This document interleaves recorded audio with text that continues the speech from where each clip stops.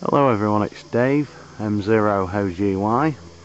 Just having a look uh, at some uh, brackets that I've self-fabricated to go on the Strumech P60 tower for coax guides, you see them. Some further up. And there's one right at the top. We've got the tower up, uh, well right up today. There's the third one and then there's a, a fourth one that uh, up there as you can see it's curved. What we're planning to do obviously is to re-coax the tower put the coax through the hoops uh, which will guide it from catching in the sections. As I say the tower's up for today. We'll have a better look at that in a few moments from a bit further distance. You see uh, there's the beams the Sirio Gainmaster right at the top. We'll have a, I'll come back to it in a moment. Right, we're back uh, from a, another position, just showing you the uh, Strumech tower that wound up. As we know, there's the OptiBeam, 5 element uh, monoband Cushcraft for 6 metres, the 2 metre J-beam, and right at the top as you can see is the Sirio Gainmaster. I hope you can uh, get an idea of the that's your scale of the thing. Um, we've got the P60 tower. There's a stub mast which is around 15 feet. And there's a uh, gain master. So I'll uh, get a picture of it uh, with the house rooftops in a moment. A little bit closer now. See the Shakespeare big stick in the background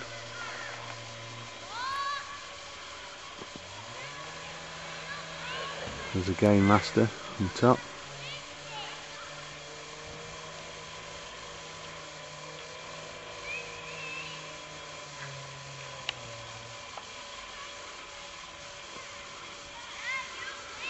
Right, just showing you it with it up anyway. That's the first time the tower's been wound up with a gain master on top of it. So uh, it should work very well with it up at uh, that height I would hazard a guess. Catch you soon. Best 7 threes from Dave, M0 OGY. Bye bye. Right, hello, it's Dave M0 OGY. Just to follow on for the video of the antennas. As you can see, here in North Lincolnshire, uh, the 12th of September, we've got 70, I don't know, to 80 mile an hour winds. So, just showing you the tree, we'll have a look at the antennas in a moment. Hello again, as you can see the wind's uh, whapping the uh, beams on the tower. We've had a little bit of a, a change to the tower since the video uh, at the beginning of this one.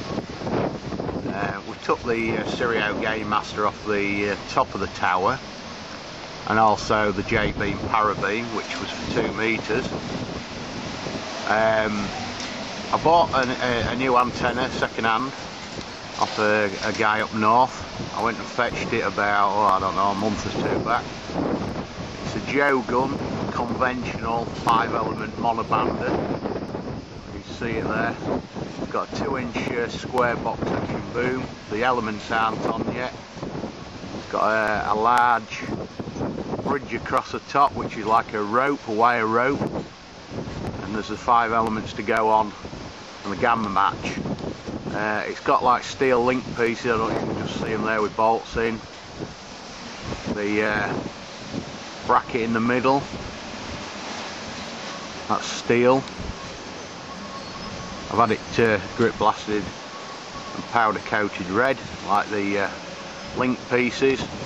As we said the boom's about, I don't know, 17, 18 foot long and it's got full size elements. It's designed for the CB and uh, 11, 11 metre market. We'll have to see if it'll work on 10 metres, it might do, it might not, but uh, I'm sure it'll uh, put a massive signal out on, uh, on the CB pattern, that's for sure. So that's sort of the project I'm doing at the moment. Did a bit while I've had some uh, time off work. So I've got it uh, tipped over end at the weekend, so we just got the elements to uh, on it and uh, you know some Westflex uh, uh, cable feed it So uh, I've got quite a number of uh, new videos to do with radio and CB radio. Quite a few uh, coming up. So keep uh, your eyes peeled on the channel. Anyway, it's uh, still rather windy out here. It's around 8 o'clock. So on that note, thanks for having a look. I'm off inside for a brew. So best 7 threes uh, from Dave M0 OGY. Bye bye.